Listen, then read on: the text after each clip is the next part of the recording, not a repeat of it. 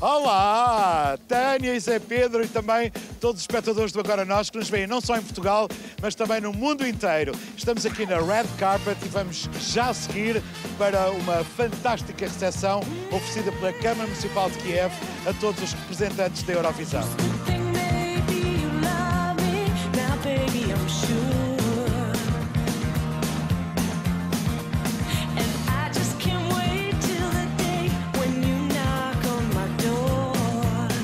Bom, o Salvador continua na Red Carpet, já deu entrevistas para todas as televisões do mundo, aí está ele.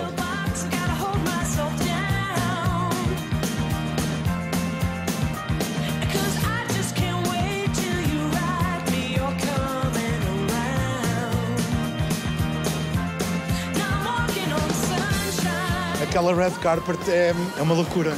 Uma loucura é, é uma palavra boa para descrever aquilo. Nunca tinha vivido uma coisa assim, tanta gente, tanta loucura, ainda por cima acabar de chegar do avião. Houve um momento em que me arrepiei que eles estavam todos Portugal. E eu pensei, "Eia, assim é como se sente o Ronaldo, não é? Ora, e agora vamos entrar na festa e vais ver o que é que vai ser. É. Toda a gente a dizer que gosta de ti. Não sei, vamos lá ver.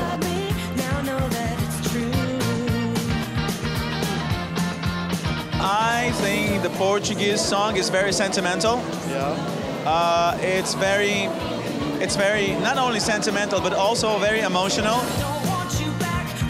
It's really special artist, really special. I like, you know, he has such a calm energy, such very different from mine, but really great.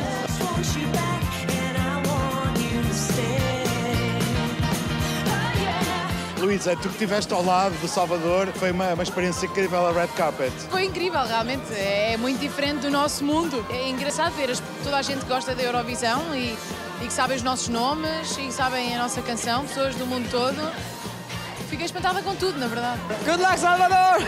Good luck Portugal, oh, buona fortuna Portogallo. I hope you get up there in the top five. Go Portugal, come on!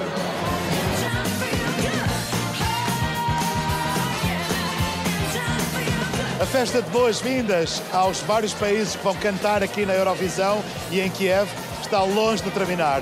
Não se esqueça, amanhã é a nossa semifinal onde participa o Salvador e por isso, se vive fora de Portugal, pode e deve votar. Tem que sintonizar eh, o canal do seu país, o país onde vive, que está a transmitir a Eurovisão e votar em Portugal. Beijinhos e até amanhã.